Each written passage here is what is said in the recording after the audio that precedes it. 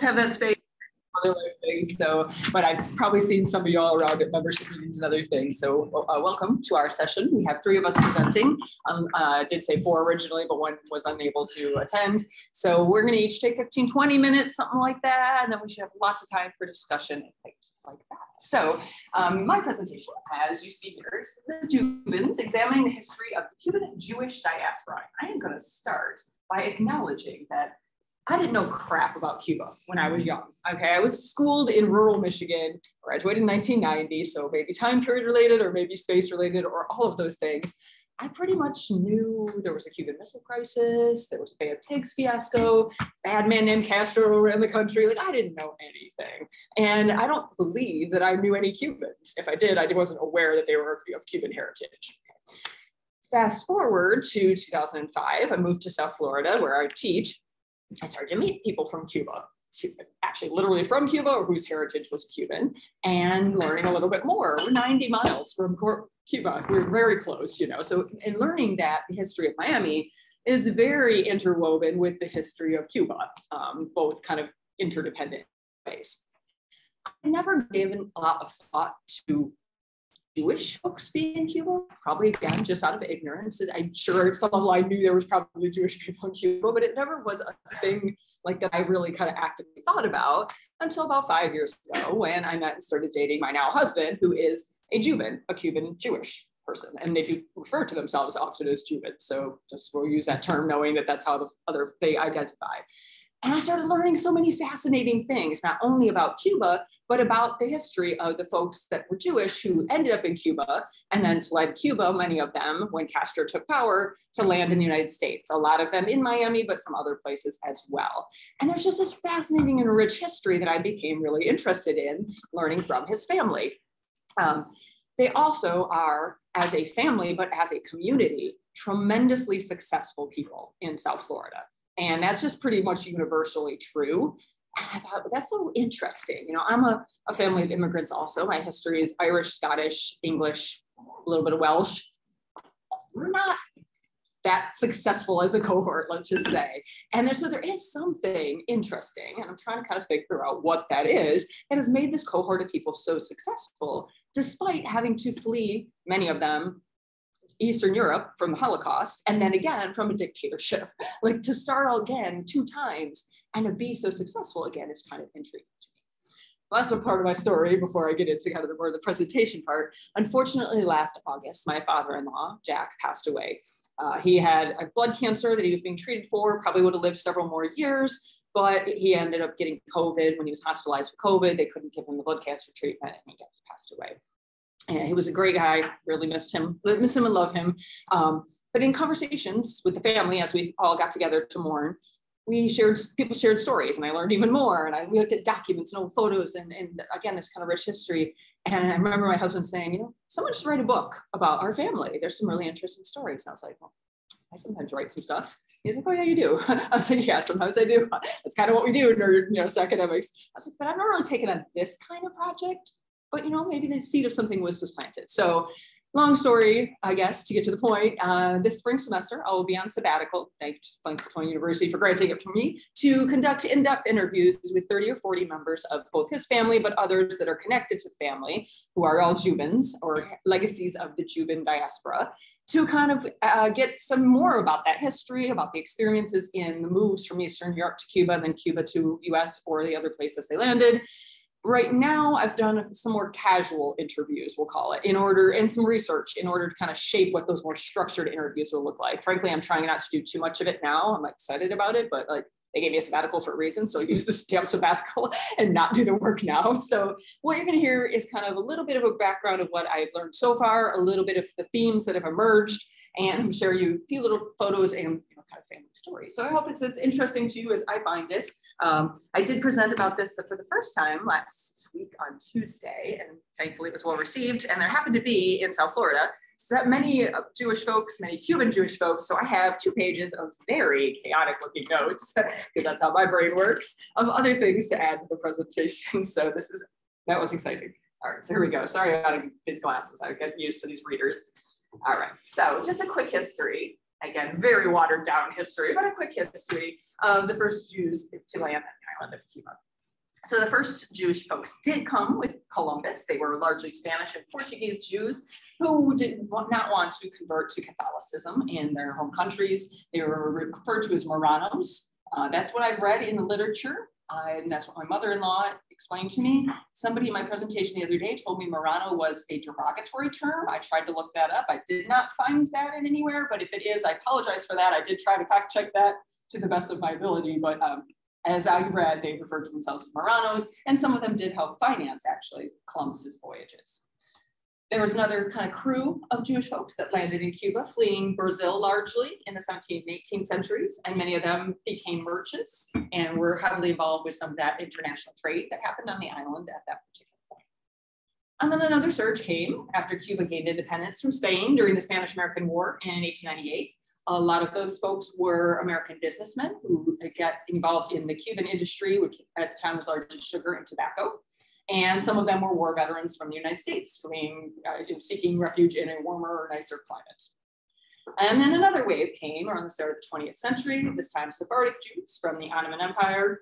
And this group was slightly different demographically, tended to skew a little bit more poor and engage more in small businesses or uh, peddling rather than more uh, significant uh, and well affluent industries. And then the group that my family, my, my husband's family came from uh, was from Eastern Europe. They were all from Poland, outside of one person who came from uh, what, uh, White Siberia. And many of them fled from fascism and the oncoming Holocaust in the 1920s through the 1940s. Um, by 1924, as you can see, there's about 24,000 Jews in Cuba. And actually, most of them weren't necessarily looking to stay in Cuba. Cuba was going to be a stopping place on their hopes to land in the United States. However, the United States passed several pieces of legislation, including the Immigration Act of 1924, which really severely limited the number of Jews who were accepted into the United States. So many of those people whose intention was one thing ended up staying on the island of Cuba. Some, some came because they wanted to be in Cuba, but there was a sizable group that really intended to land in the United States. So this continued uh, again as people saw the oncoming fascism in, in Italy, uh, uh, in Germany, etc., and landed again fleeing that and religious persecution. So by 1960, there was an estimated up to 16,000 Jews in Cuba, a fairly sizable part of the population. So then came the second wave of diaspora, right? So these folks were living in Cuba and many of them had established very successful businesses. My husband's family uh, were in lumber at one point and in, had a rope making business. And, they, and, one of his family members actually sold rope to um, fairly affluent people and well-known people like Hemingway. Um, most of the Jews that landed in Cuba ended up fairly successful by building businesses there. Most of them left everything behind or their things were seized. But initially, when um, Castro was coming to power, many of the Jews and, and many other people in Cuba actually supported that a revolution because the previous uh, administration, Batista, was very much corrupt, and a lot of people were ready for change, didn't want him anymore, so were all, all too happy to get rid of him. And initially, Castro did not play up the kind of communist side, the I'm going to seize your businesses side. It seemed initially like a good thing. It became pretty clear to many of the Jewish folks that this was not going to be a good thing. Um, in particular, a couple of developments. In 1959, atheism was declared the national religion, making that very difficult practice for Jewish religion or any anybody practice their religion, but for my purposes, Jewish religion. That was changed in 1962 to declare Cuba a, an atheist state, or, or, I'm sorry, a secular state. However, the, the, the pattern was there, right? Chill, chilling effect on practicing your religion. Um, then there was also the nationalization of industry and the seizure of the industries and properties. My husband's uh, family's jewelry business was taken over by Castro. Um, by September 1960, as many as 3,000 Jews had fled the island. And by a couple years later, about 90% of the Jews had fled the island. Many of them to the United States and in particularly to Miami, obviously due to proximity and similarities in you know, climate and things like that. But others landed in, in other places, including a, a sizable chunk that went to Israel. Um, so um, many there still who remain there were still again scared to practice their religion openly but there was a, a, small chunk, this was not my husband's family, that did actually support the Communist Party. So I won't be speaking much about that, but just want to acknowledge that. So the best I could find today, there's about 800 to 1200 Jews that remain in Cuba. Most again have left. Um, so this is my husband's family. His dad's name was Beckerman, his mom's name was Schiegel. And they all came from, David is my husband, just so you know his name. It's easier than say my husband all the time. Uh, as I said, they all came from Poland, except from the one from White Siberia. Um, his paternal great grandfather was one of nine um, siblings, and only two survived the Holocaust. While his maternal great great aunt was the, and his mother's mother's side, everyone survived. They fled earlier, um, more in the 1920s when they were younger. Uh, but his maternal great aunt did survive several camps, and she had a son who was taken away from her and raised in a convent in France until he was 13. Uh, and then she finally was reunited with him. He's still alive. I have not met him yet, but he lives in California somewhere, he's like 86, 87, something like that. Um, David's parents, Jack and Lelia, left Cuba initially for Kansas City and then they moved to New York, and then they did in Miami, where they've been living. Well, actually, live in Broward County, but nearest to Miami. Um, so they uh, had an interesting story as to why, why and how they left. She was just 15 when Castro came to power, and initially things didn't look too bad. And then they started to see again curtailing religion, the seizing of industries. There was some rumors that they were going to send kids to like labor camps, lots of scary times. And so her parents decided they wanted to send her to the United States. They had some family in Kansas City. They want to send their daughter to go live in Kansas City with a family to be safer for her. She had started fairly seriously dating Jack at the time, uh, even though she was young, 15. He was few years older, was 21, I believe, at the time. And he learned of her family's plans to send her to the United States. And he said, well, I don't want you to go without me. Let's get married. So they got married. They had a beautiful wedding ceremony. They left Cuba on their honeymoon and have never been back since. Um, and some years later, they had the family join them. So they trickled on over, grand grandparents came over, brothers and sisters came over. Eventually, everybody that in his family left Cuba. There's no one still there. And his grandfather actually left Cuba having swallowed a diamond so he could have something when he got to the United States, which I think is a very powerful story. Um, they have built back on that success in the jewelry business, which is what my husband does today. His parents started the jewelry business. They at one point worked in New York City with his grandparents, all of them, both my mom's side and dad's side. They all lived in the same apartment complex next to each other. Personally, can't imagine this. Um, and they all worked in the same business together. They had several successful storefronts in New York City but they they were robbed several times and started to get scared of that and decided that maybe the nicer climate of Miami and their might be safer in Miami, although that's hard to imagine today, would, would be a place to relocate. So they had several successful uh, storefronts in Miami uh, until his parents pretty much moved out of the business and handed it over to my husband. It's now a mail order jewelry business, but also very, very successful. And everybody, as I mentioned, in his whole family and every Jew in, in Miami that I have personally met, been a lot at this point, are very successful business people. And so obviously that's a piece of the story here. Um, so some themes that emerged in so far my casual interviews with folks about what were the what were these experiences like again moving from one leaving one place to another and then another um, pretty much with nothing all the times. So obviously there was changes in climate language food and in so many cases they changed their names. They coming from poland it was not warm. the, the, climate in Cuba was a dramatic change for, for the folks. Her, uh, Lilia, my, my mother-in-law's mother, moved when she was eight, so she said she, she loved it, but the uh, older folks, her parents, great-grandparents, had a hard time adjusting to the, the tropical climate. They knew no Spanish when they moved to a largely Spanish-speaking uh, country. Um, so they had to, from scratch, learn and mostly teach themselves a new language. Same thing when they moved to the United States, they knew very little, if any, English. And yet they all knew Yiddish and, and largely Hebrew. And the importance of language also kind of comes up here in a minute too. Obviously, the foods were dramatically different that you would find in Eastern Europe than what you'd be having in Cuba. And many of them had to change their names, or at least felt pressure to change their names. So my mother-in-law's mother was Nahama Schiegel, um, when she moved to Cuba, she became known as Consuelo, which I guess is a loose translation of Nahama. Um, when they moved to the United States, my father-in-law's name was Itzhak Abraham, he felt that it was told that was a little too Jewish and foreign sounding in 1960. So he was pressured to refer to himself as Jack and he legally changed his name to Jack.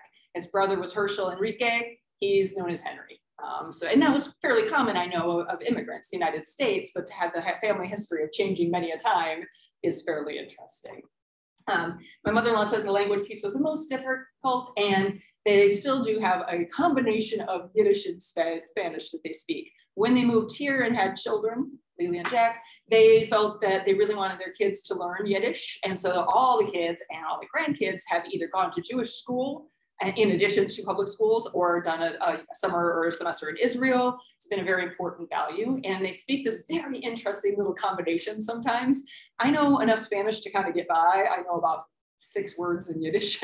I haven't learned that to the same degree. And the cutest story, I think, of the combination, I won't belabor my stories, but uh, my mother-in-law was talking about a certain politician in Florida who she doesn't appreciate. And we asked her, you know, why does she not like this person? And she says, porque es un putz, which means because he's a putz. And I think that's just the cutest little phrase. I'm like, what a great blend. Um, she also told me that they, they to Eastern Europe, of course, because of the fear and actuality of religious intolerance.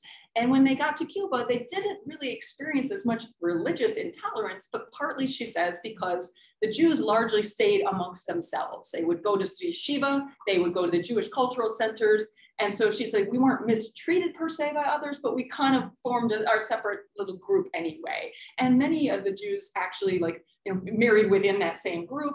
In fact, one of the people in my presentation the other day said that his relatives who were came over in the 20s, they actually had a practice of they were they were advised to on the way for a boat to get over to Cuba to find someone to marry if they had not or married because it was going to be more likely to get entry and be accepted if they were already married which I thought that was again kind of interesting. Um, when they moved to the United States, however, they did experience more religious intolerance. Um, 1960, there still was fairly significant anti-Semitism in the United States, and especially again coupling that with the Jewish background. There was some people, some groups that they said were very sympathetic because they were sympathetic to anyone fleeing Castro, and then there are other groups that, oh, I heard you're Cuban, I associate that with this nasty thing, therefore uh, you know, uh, you are, come from, you know, that same background. What was really interesting is she argues that the, in Cuba, they were a very racially tolerant society. And from what I again have gathered, that is largely true in terms of the Cuban Constitution actually requires uh, uh anti the wording is escaping me, I'm sorry, requires uh, egalitarianism in many respects in ways far stronger than the US Constitution. Um, that being said, there is some you know, racial intolerance in Cuba. It's not a completely egalitarian society, but she says they were shocked when they moved to the United States and found separate water fountains and separate facilities and things. She's like, that was unheard of to me. Um, sexual orientation and gender identity for my mother-in-law's generation was not amazing in Cuba, but has dramatically advanced it from what I understand in, in recent years. Okay, I'm gonna wrap up. Sorry, thank you, Mike um, other other things. So uh, despite having nobody in the family except my husband and his daughter ever going back to Cuba, there's this interesting Cuban pride, right, that they still have. There's a deep hatred, as many uh, people fleeing the regime have, of Castro and anything labeled communist or socialist, which has affected voting patterns in South Florida.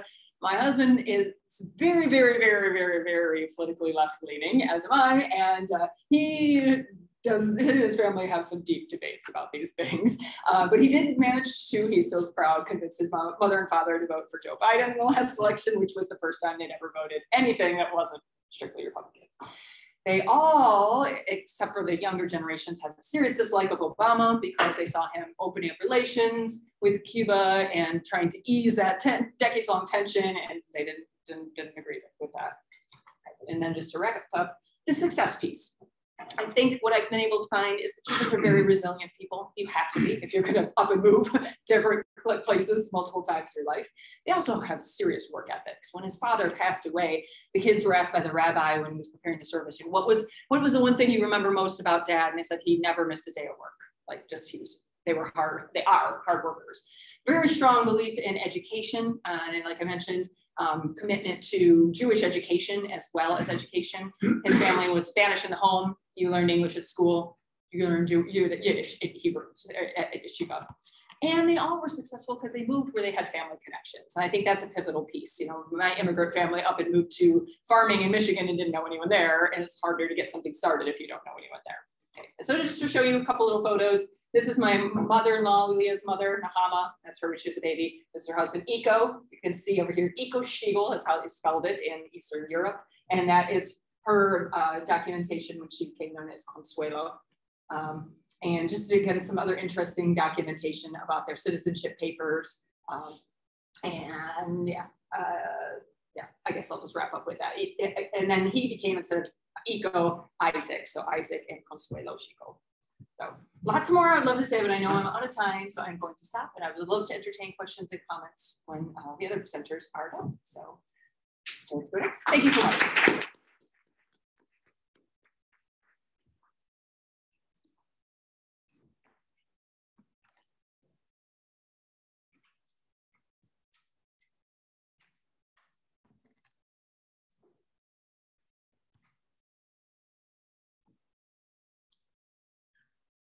Uh, hi, everyone. My name is Gooch. Uh, thank you for being with me here today.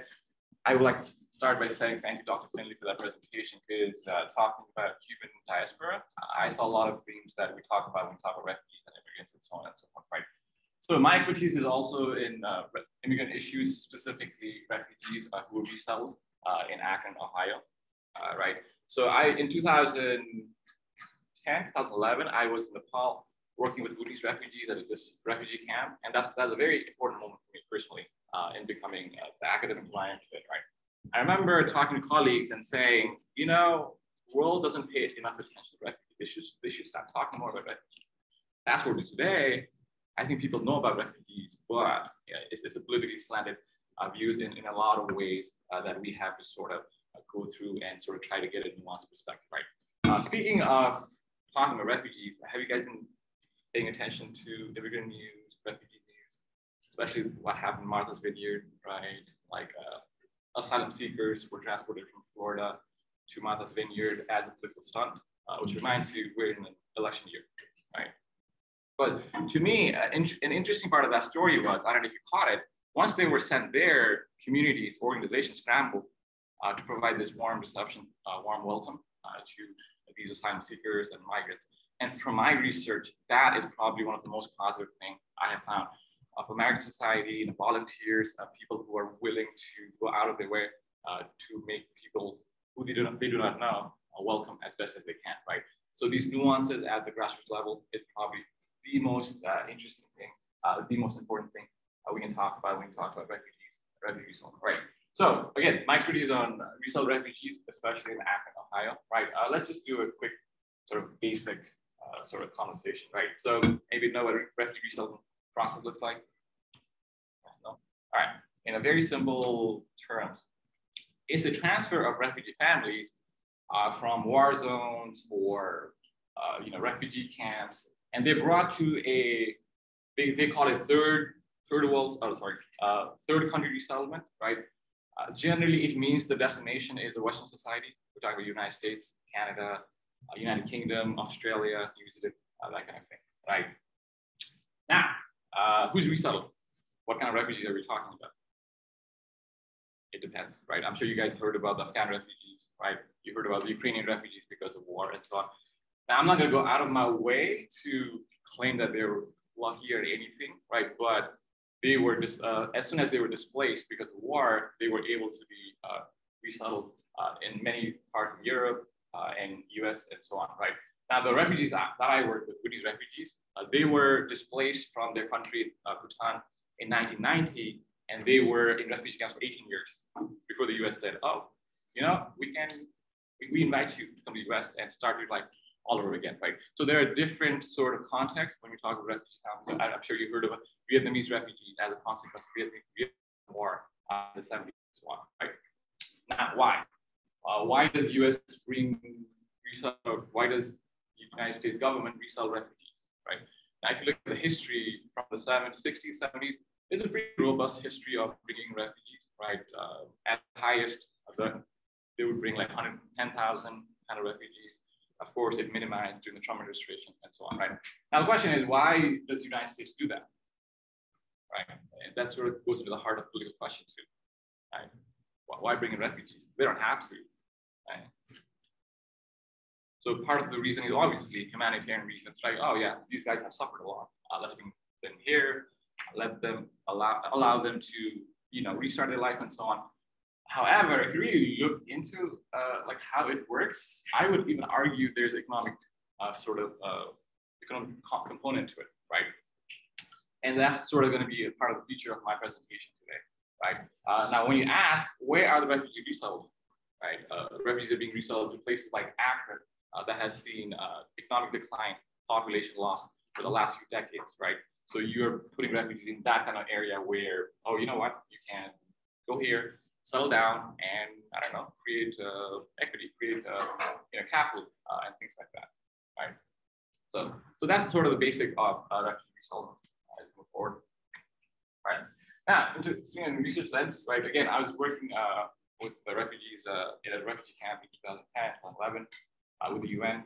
So if you ever work with uh, refugees, right, one thing you realize is that the life is defined by this denial, uh, denial of uh, political rights, uh, denial of you know representation, religious representation, cultural representation, and so on. So a lot of the rights that we, a lot of the spaces that we take granted for a lot of times as citizens of a country, right?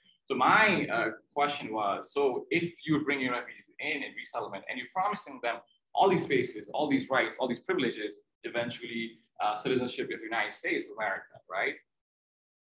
Then what does life look like, right? Does it mean everything works out? Or is there more nuance to how they negotiate these spaces, right? So my research focus is at a local level. Uh, so if you look, at the trend of refugee resettlement, uh, where refugees and immigrants are settling right now, you'll see more and more of them are choosing places like Akron, which are not a huge city, uh, but like you know, urban urban spaces, right? Uh, they're moving on from places like New York, Chicago, uh, you know, San Francisco, uh, LA to more like Midwest sort of suburban, semi-urban areas.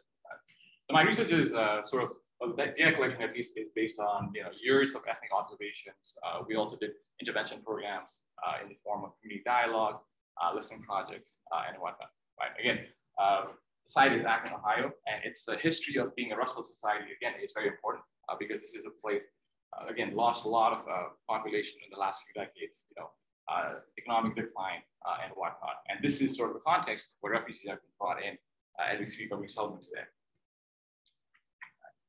So uh, I always use this quote. As a matter of fact, I think I overuse this quote a lot of times in a publication like this, right? Because for me, this quote speaks of the nuance that we don't always sort of use when we talk about refugees and immigrants, right? I was asking this person, like, what resettlement is like. And his quote was, well, what would happen if you took the whole community from a refugee camp and put it in a place like Akron. Uh, we have all kinds of things here, but good things, but we also have bad things, right? Uh, we have struggles, uh, we have challenges, anything, everything you can imagine, right? So when I uh, analyze how refugees behave, how refugees sort of adjust to their life and resettlement, I'm looking at these spaces, right? As you can imagine, economic space is going to be very important because that's almost what we expect from them. Oh, you're here now. What are you going to do for us, right? You better get cracking in terms of uh, labor participation, uh, and so on, right? And I also look at how they sort of negotiate uh, within their own cultural space and political space, right? As you can imagine, both cultural space and political space are also sort of driven by or affected by their economic status, uh, what, what they're bringing to the table, uh, how they contribute. Right. Okay, so within Akron, uh, this North Hill area is where a lot of refugees we settled. And that's where uh, my research was. Uh, I also worked with a lot of organizations that helped uh, resettle these refugees, uh, people, uh, allies, uh, and people like that who help them move forward, right? Now, just to give you demographics, it's, a, it's a fairly diverse place, North Hill. This is not the most up-to-date stat because this is before we started reselling Afghan refugees and so on, right?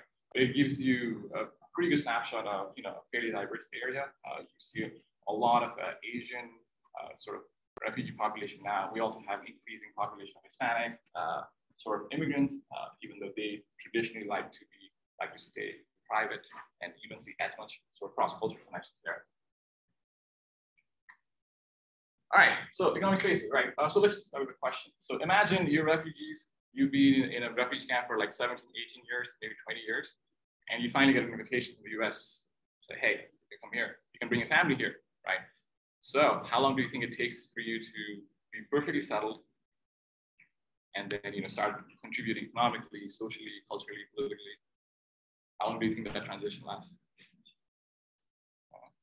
Uh, so that's an important question to which you know there are no easy answers. Uh, but if you're coming into the US, you don't necessarily have a choice a lot of times. Most states will give you three months. Three months of support, you know, will help you with the rent and everything.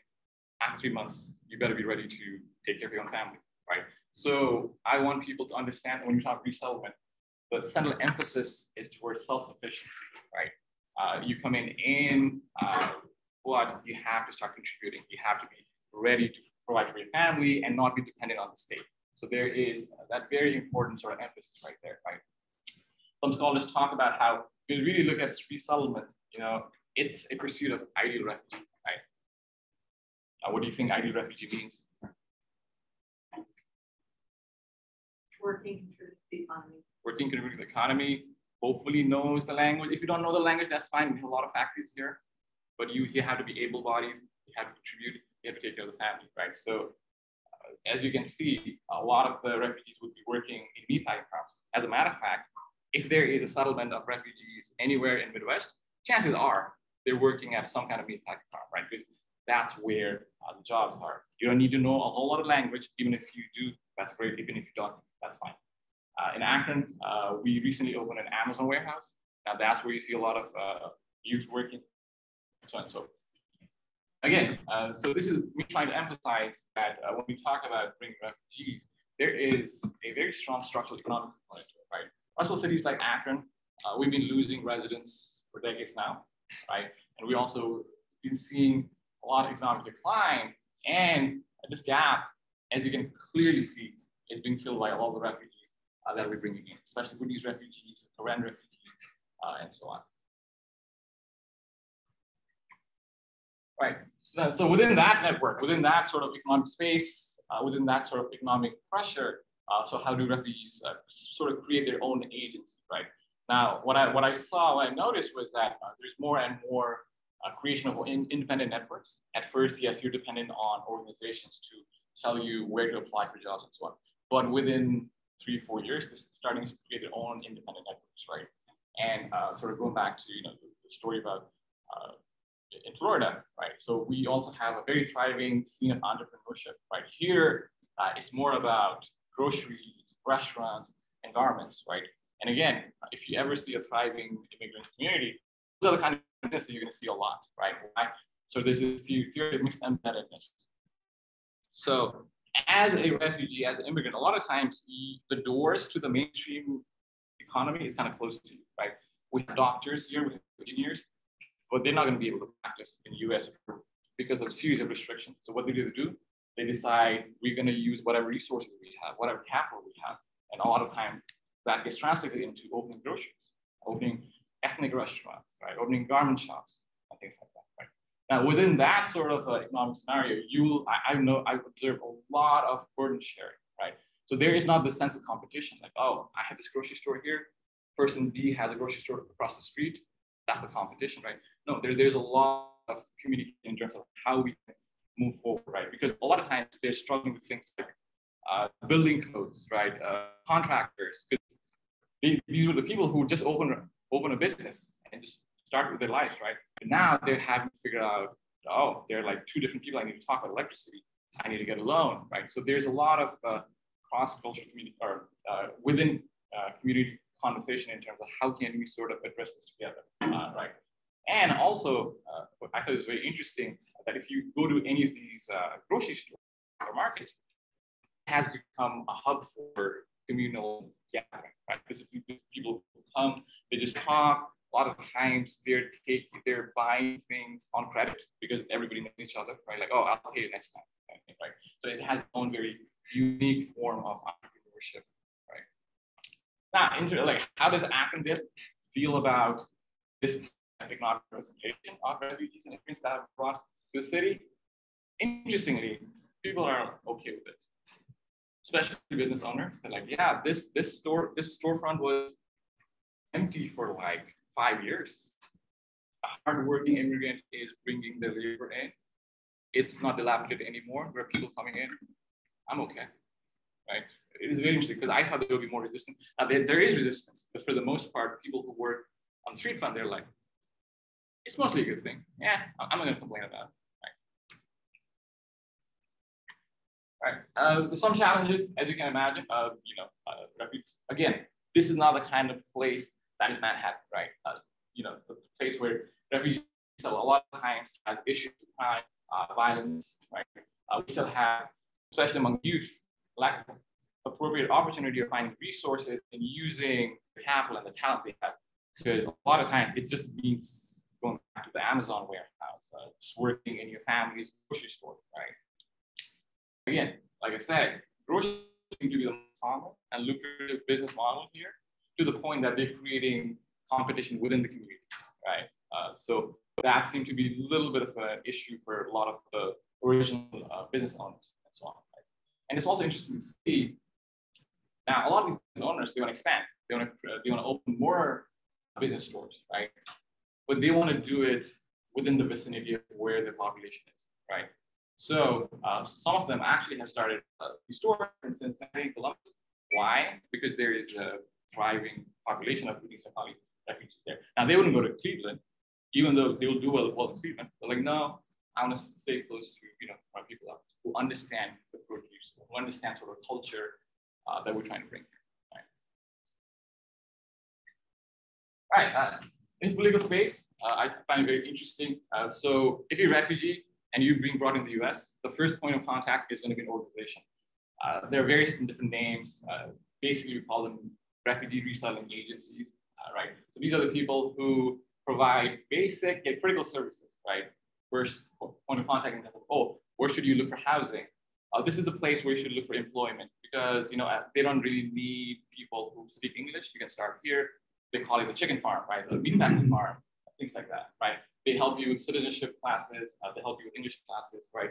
Uh, and, and the organization where I worked, uh, they were also specializing in uh, legal cases. If there's any issue in terms of citizenship, for example, like This was the organization that would take care of uh, most of these things, right?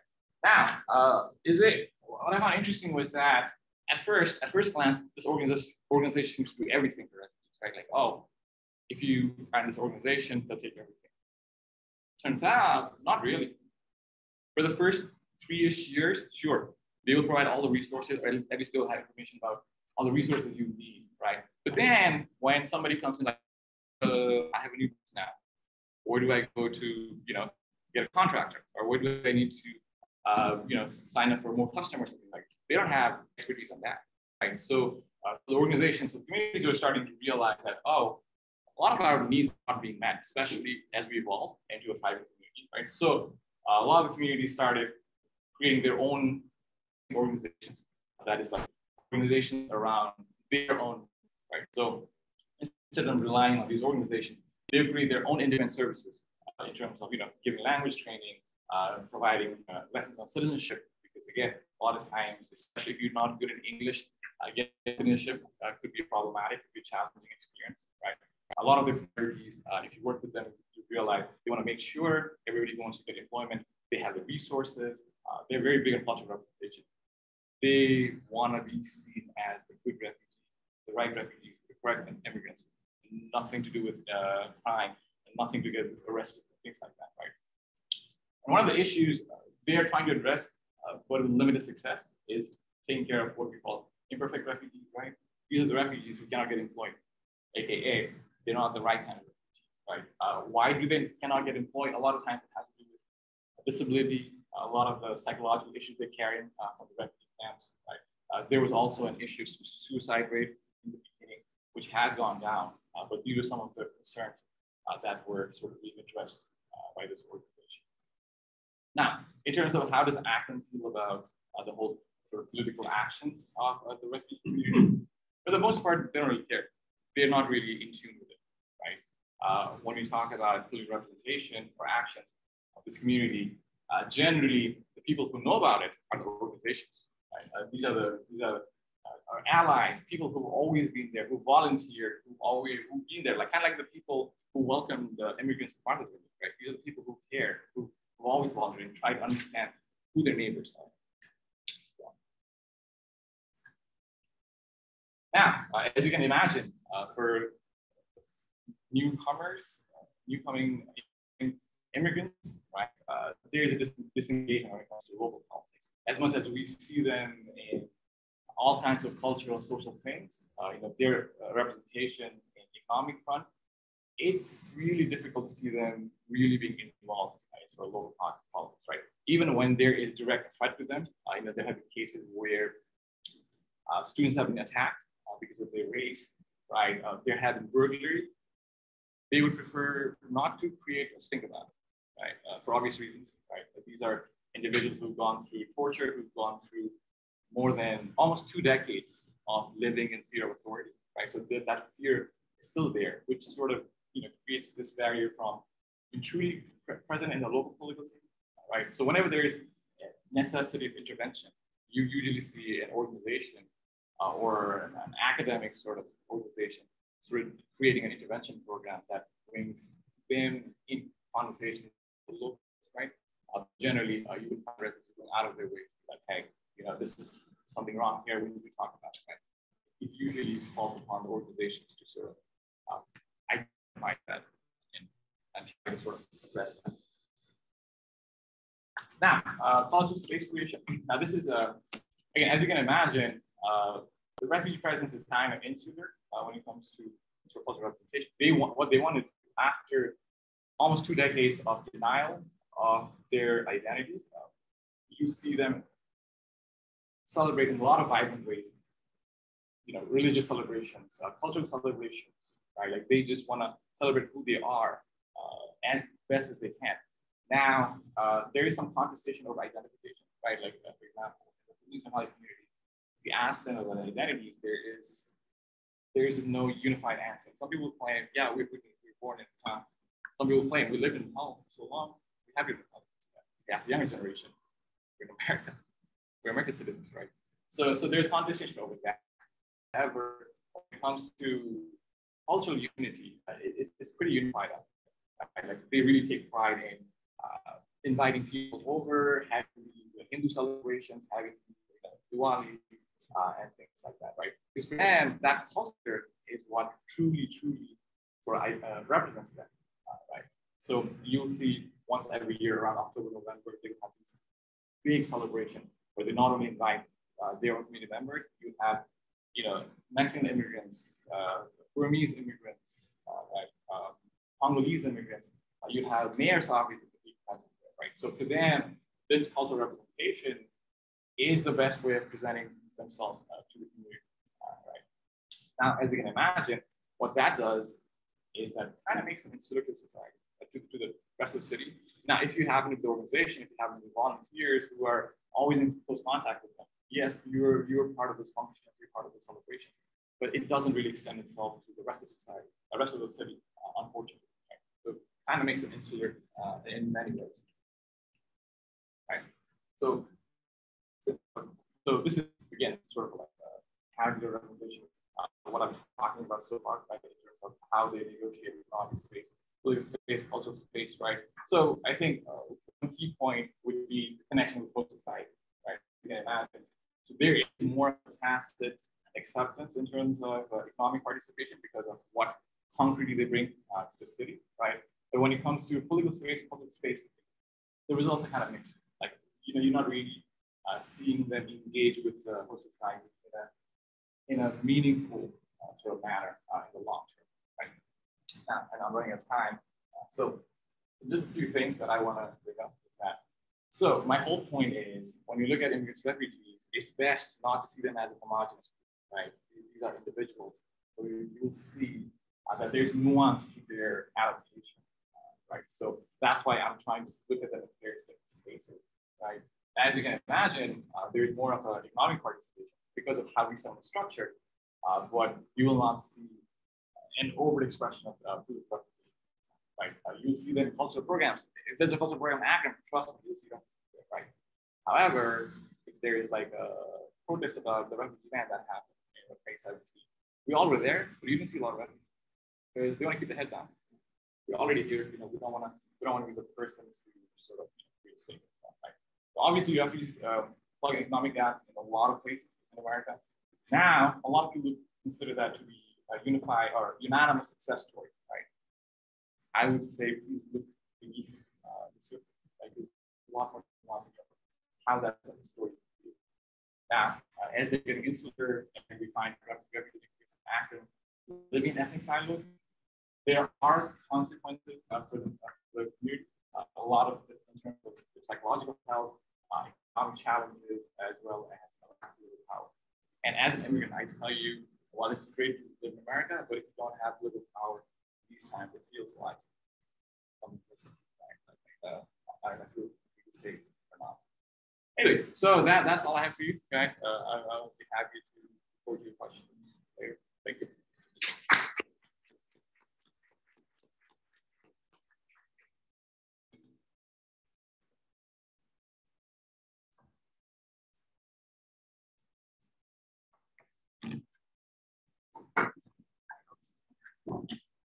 It's so hard to go last because you get immersed in what others are saying, and then you're like, wait, what am I doing? So um, I'm very excited to see the first two presentations and conversations.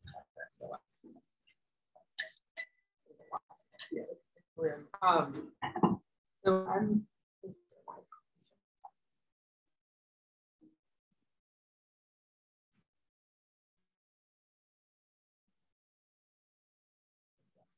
Um, so my name is Colleen. I'm from the Earlham School of Religion.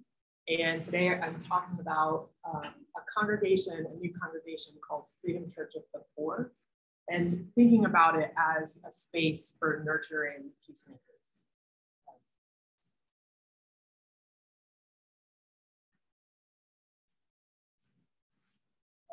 So Freedom Church of the Poor, it's an, it's an online congregation that first gathered in the midst of the COVID-19 public health crisis. And for two and a half years, we've gathered with the purpose of becoming a spiritual home for movement leaders and a place to help nurture moral leadership for the struggle to end poverty, systematic racism, ecological devastation, militarism, and the false moral narrative of Christian nationalism. And so I want to start jumping directly into a clip from a recent service and, and then circle back to a little more about the, the origins and vision and form.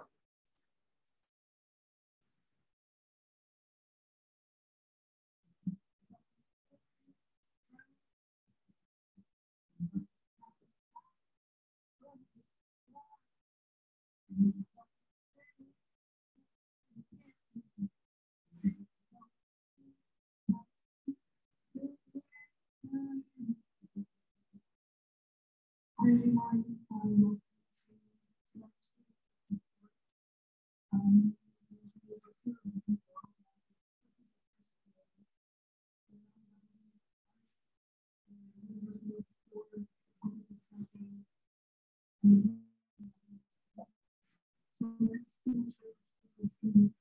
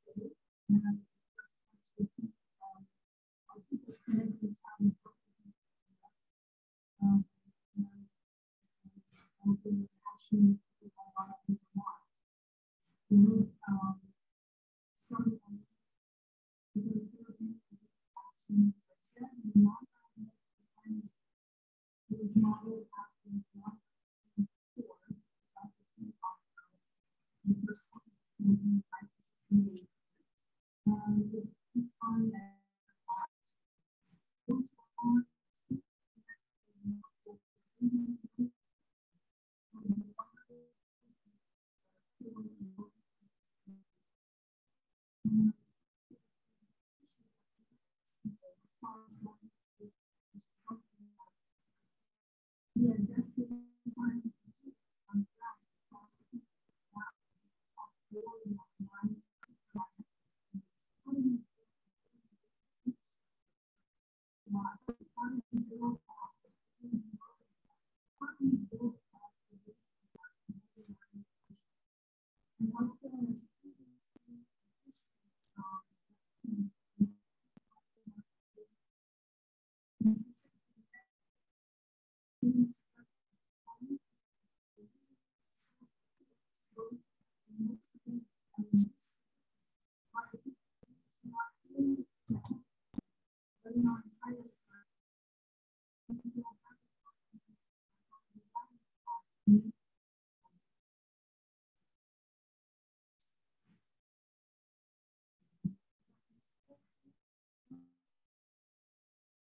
In this clip, grassroots organizer Ms.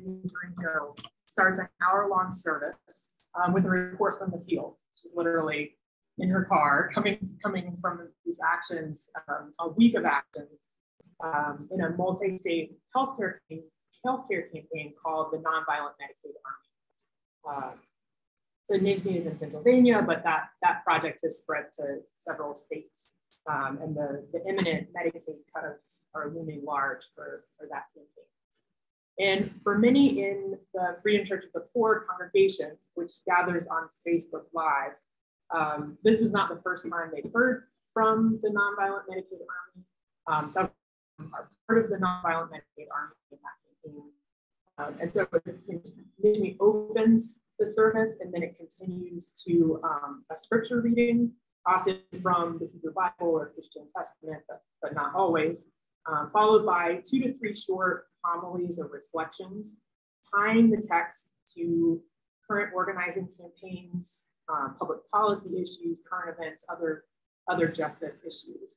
Um, and then and these respondents are um, a combination of religious leaders, whether ordained or, or lay religious leaders, organizers like Nijmie, um, and some um, academics and people coming from other all communities are followed by a period of open responses and both through the chat on Facebook Live, but then also those who are like have a role in the service gather on Zoom and then we broadcast Zoom. So those that are in the Zoom room together can have a conversation also um, in that open response. Um, and so music is mixed in, there's music at sort of the beginning and end, and those artists come from the organizations and, and, campaigns that are taking part. And then the service usually ends with um, a responsive prayers of the people. And again, using the chat. Uh, I want to mention here that um, I am part of this congregation and was part of the collectivity that contributed to the formation. So this isn't a disinterested or formal study of the organization, but more of a model sharing out of this work. Um, so I definitely welcome critical and academic questions about it. I have some as well. Um, but this, this is more of a model sharing in the spirit of the call for papers, um, nurturing the call of peace And then I also want to mention up front that, that the phrase, um, the, the name Freedom Church of the Poor is taken as, as Nijmie spoke to a little bit, but this phrase is taken from Martin Luther King Jr. in 1967.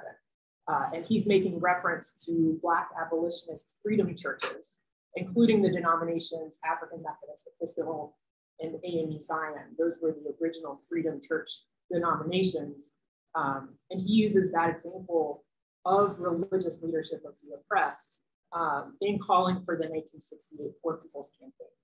Uh, and here's that larger text that comes from from Martin Luther King um, in 1967, talking about the People's Campaign in 1968, which actually takes place after he's assassinated. Um, so he says, the dispossessed of this nation, the poor, both white and black, live in a cruelly unjust society. They must organize a revolution against the injustice, not against the lives of the persons who are their fellow citizens, but against the structures through which the society is refusing to take means which have been called for and which are at hand to lift the load of poverty. The only real revolutionary, people say, is a person who has nothing to lose. Millions of people in the street very for even nothing to lose. If they can help to act, take action together, they'll do so with a freedom and a power that will be a new and unsettling force in our complacent national life. Beginning in the new year, 1968, we will be recruiting 3,000 of the poorest citizens from 10 different urban and rural areas to initiate and lead a sustained, massive, direct action movement in Washington. That's the fourth of. Those who choose to join this initial 3,000 this nonviolent army, this Freedom Church of the Poor, will work with us for three months to develop nonviolent action skills. Um, and I don't know if you catch the echo here, but the nonviolent army is where the, um, the nonviolent Medicaid army takes its name as well. Um, so going back to the, the congregation, Freedom Church of the Poor, um, uh, I want to let Becca Forsyth share the mission statement instead of me reading it. Um, I'll let Becca read it. That.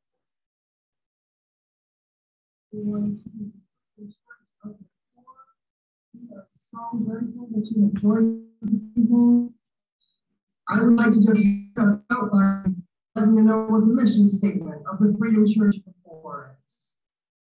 The mission of the Freedom Church of the Poor is to be a spiritual home for movement leaders and a place to help nurture moral leadership for the struggle to end poverty, systemic racism, ecological devastation, militarism, and the false moral narrative of Christian nationalism.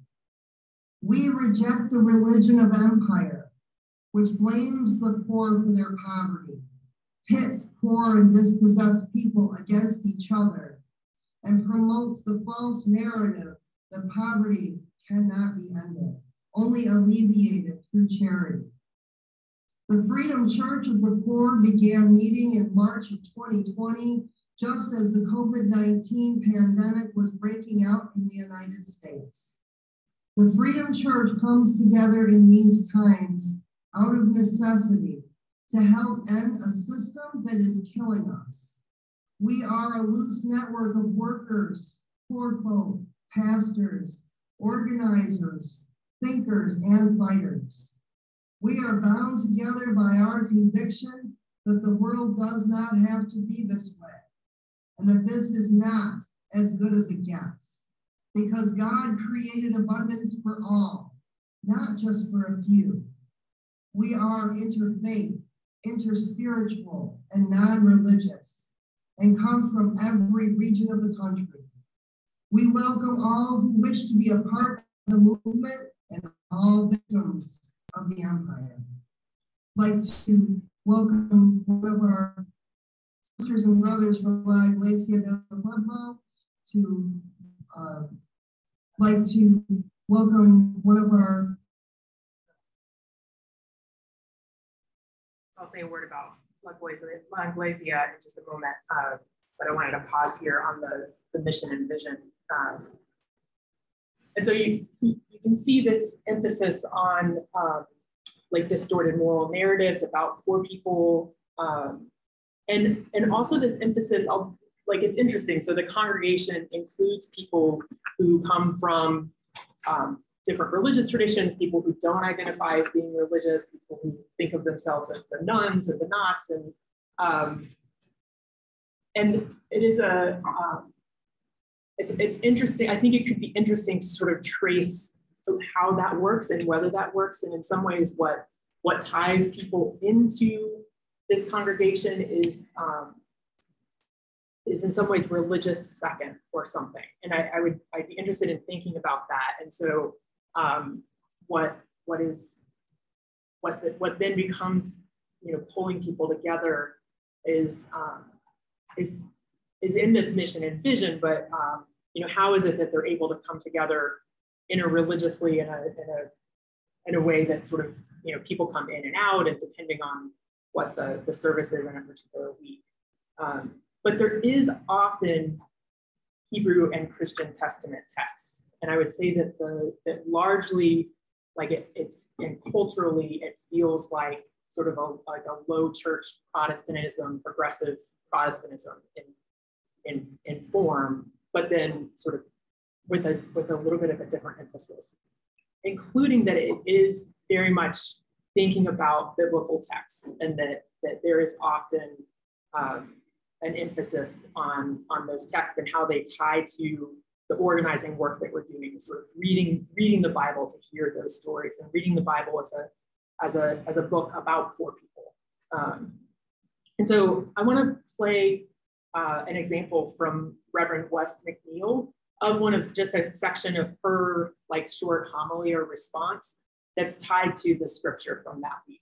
Um, and this was from the um, the week that um, Nijmie opened. In this final verse of the passage, Jeremiah talks about yearning to eat. He says, Oh, that my head were a spring of water and my eyes a fountain of tears, so that I might weep day and night for the slain of my people. I think there's such wisdom in that prayer. I know that too often my instinct is, is to turn away from grief or pain. But whose interests was that served? If we don't weep and mourn for our people, who will?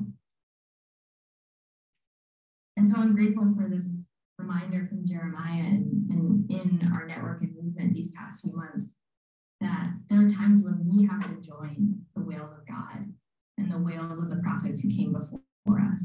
And I think out of that, we can, in a way, be a, a source of healing and sustenance for those whose losses have been ignored or covered over, which has happened so much in these last few years. And that in making space for us to be together and grieve together and mourn together and fight together, we can even be part of that, that balm, that balm in Gilead that, that the prophet seeks.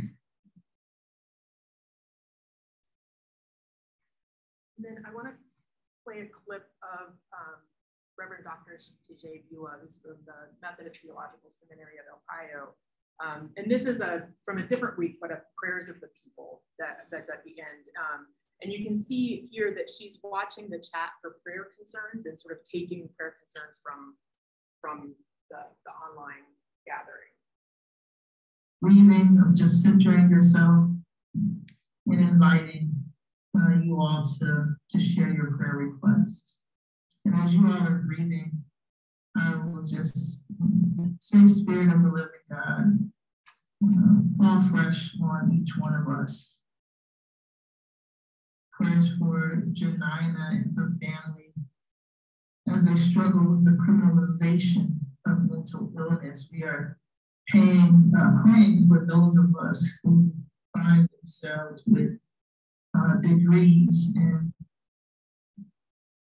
paying out a good portion of our paychecks to student loan companies. We are praying for those of us who uh, are organizers, who are on the front line, who, as Brother Keith said, is operating um, in the agenda of the Spirit. And who, uh, as all of our speakers have reminded us that we are, are to work for a release to help people to be permitted to live, to live fully.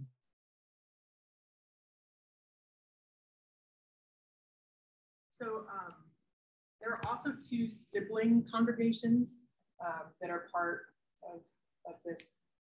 One is La Iglesia del Pueblo, and they meet weekly, and then monthly we have a combined service. Um, and and then Freedom Shul of the Poor, um, which comes together for Passover and high holidays. And they um, they have a mission that to be a spiritual home for movement leaders. Freedom Shul is for everyone. Jewish leaders searching for a community and a spiritual home rooted in a movement led by poor and dispossessed people, as well as anyone else who finds meaning and connection with its metaphorical and in this case virtual walls. Um, so just um, in the last few minutes, I, I just want to say a word about how Freedom Church came to be.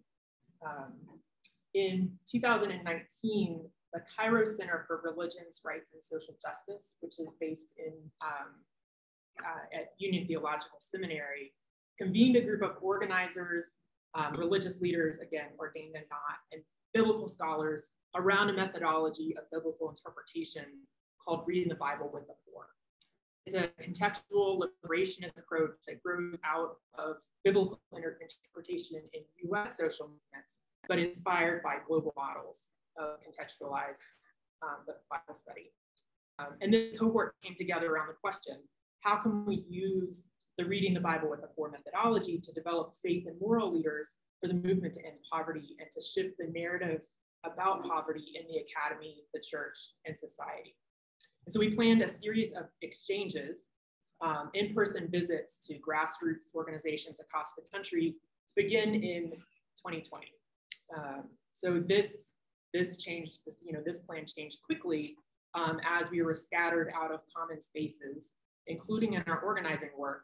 Um, there was an opening for doing something um, along the lines of what the cohort, cohort had planned now in a more open and um, like worship focused setting. And so this is how Freedom Church of the Poor uh, got started and then um, kept going. So within this call is a commitment to the leadership of the poor, including religious leadership.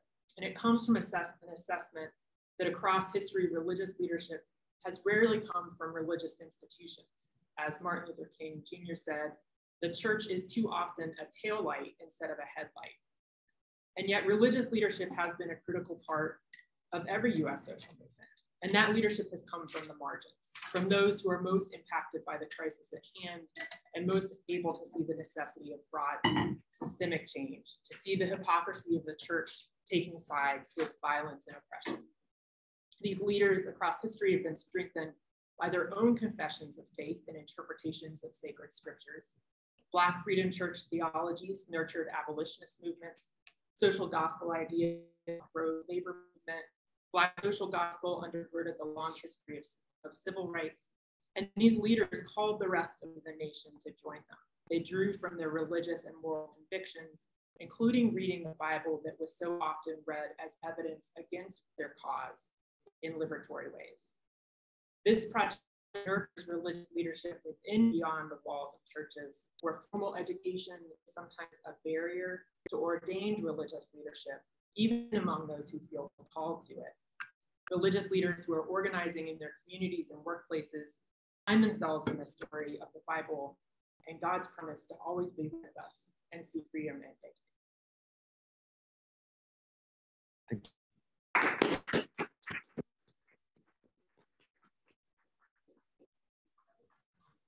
For some questions, comments, discussion. Who has?